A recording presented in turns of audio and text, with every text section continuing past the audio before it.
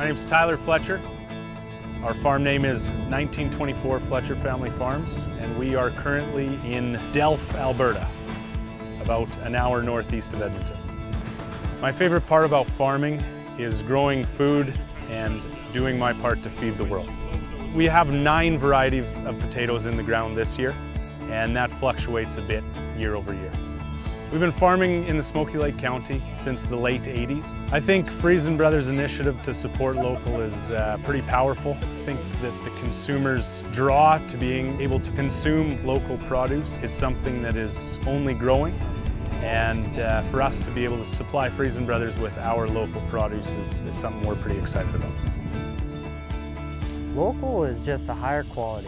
You get it to your stores quicker, it's fresher, ready to eat, sem a beira.